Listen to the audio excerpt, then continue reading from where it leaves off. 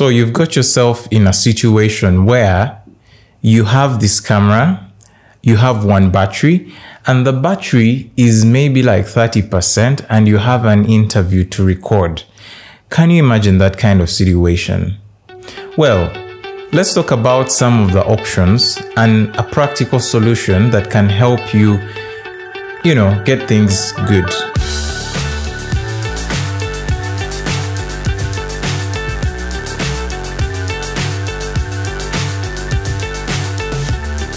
Hello and welcome back to the channel. Mr. Play Color right here. So on this channel, I share with you tips and tricks that will help you improve better your game in photography and also videography. If you would like to enjoy more of this content, kindly subscribe to this channel.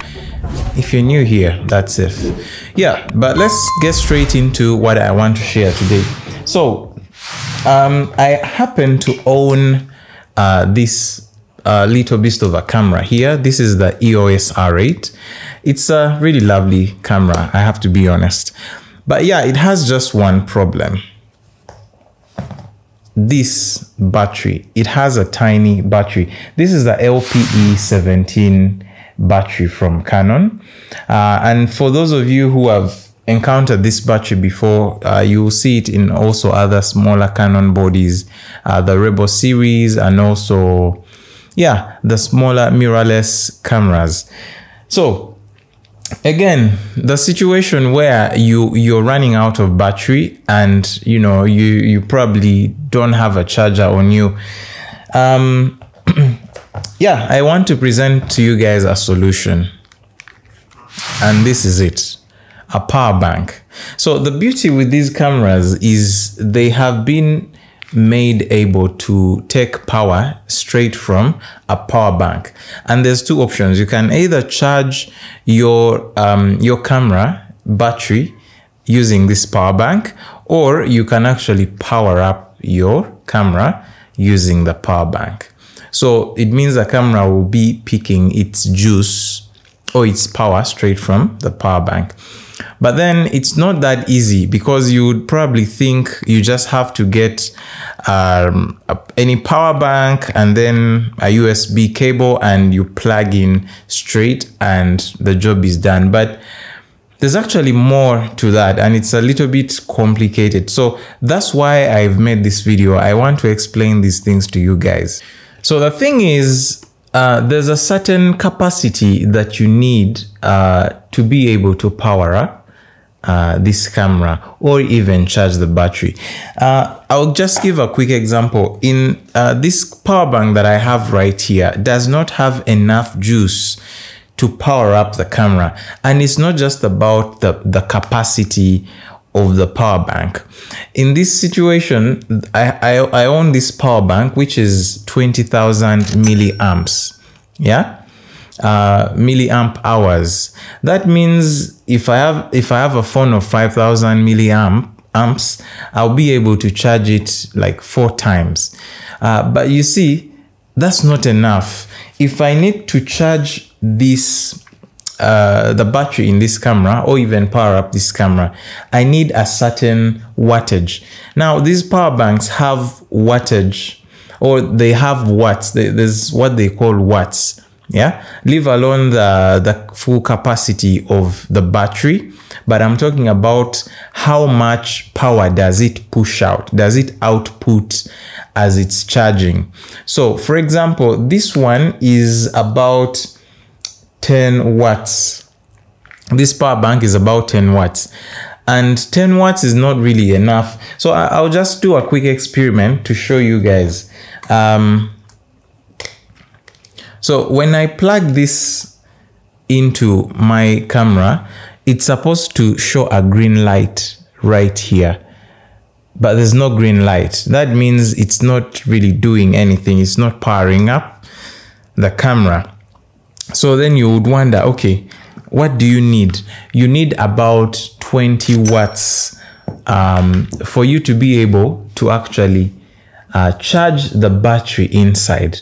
But if you even want to power this camera off a power bank, then that power bank should be maybe 45 watts and more. Okay, so that's why I have another solution for you, and trust me, you're going to love this.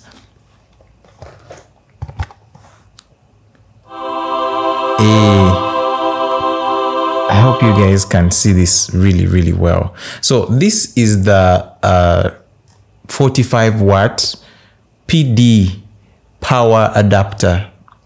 PD means power delivery. Basically, this adapter can charge a laptop. Yeah, uh, the laptops which are PD rated. Yeah, this is a PD rated charger. Uh, I know that this seems like odd to some of you guys because you would think any Type C or any power uh, adapter should work to, you know, plug into.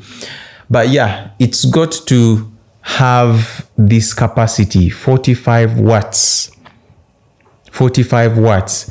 You need even more for certain devices but uh, in this particular situation this camera uh, can be fired up with these 45 watts. So yeah i have this charger here with me and let's try it and see what it will do.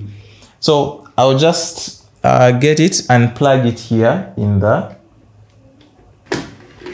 in the socket right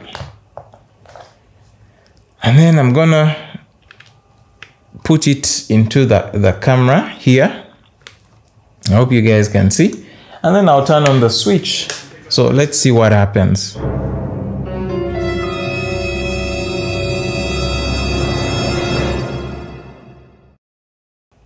Oh, well, I forgot to put in the battery.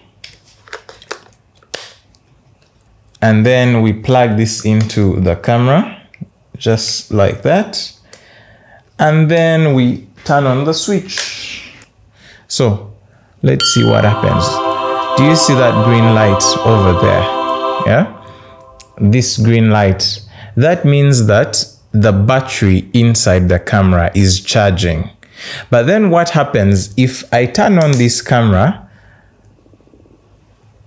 then it stops charging, yeah? But then this cable is powering the camera straight.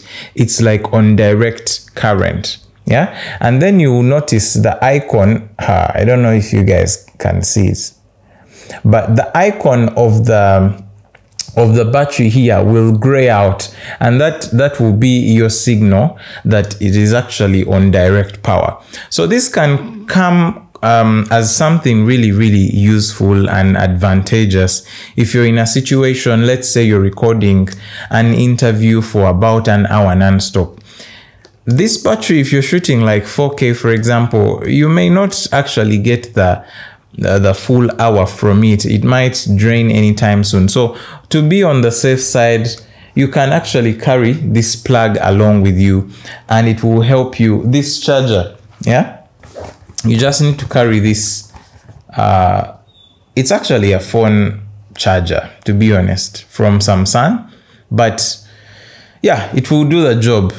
So when i turn off the camera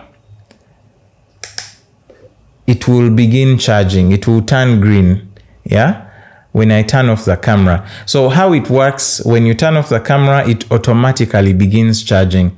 When you turn on the camera then it will switch to direct power. It cannot do both. You cannot charge and also um, uh, use the camera at the same time or when the camera is on. So you have to uh, for it to charge you switch off the camera and it will turn green yeah uh, to show that it's actually charging. I think when it's full it will just turn off. That's just the indication but yeah um, so this is definitely going to save your life. Uh, this cost this cable cost me um, well most vendors will sell it to you at 200000 but i got myself a good deal. I bought it for 160 uh, thousand. It's going to it's going to save your life yeah? In another situation you just need a power bank that again is 45 watts or even more. So yeah i think you guys get the idea. 45 watts or more will be able to power up yo so if you have a power bank that is not 45 watts or more that is maybe 20 watts it will be able to charge the battery in the camera but it won't be able to power the camera. I hope that is clear. You'll be able to charge if you have a power bank worth 20 watts. Yeah? Um, again i'm not talking about full capacity of um, uh, 2000 uh, 20000 milliamps or 10000 or whichever. Because there's so many power banks on the market with even 50000 milliamp hours but then they won't be able to power this. You need something with power delivery. The keyword is pd power delivery. Yeah? So I don't want to make this video longer than it already is. Um, if you have any questions on this device, um, on this plug, please let me know. Uh, I'll be I'll try to explain maybe better. Uh, but yeah, you can find these in your legit phone outlet. Uh, they are sold there. This is Samsung again, Samsung 45 watt PD power adapter. Yeah, it's a type C to type C. Yeah, it uses a type C to type C. But yeah, so the beauty with this cable, it's quite strong. It's a 5 amp. It can be able to, uh, yeah, do 5 amps. Anyway, I want to end this video here. Thank you guys for watching. I'll be seeing you in the next. Bye.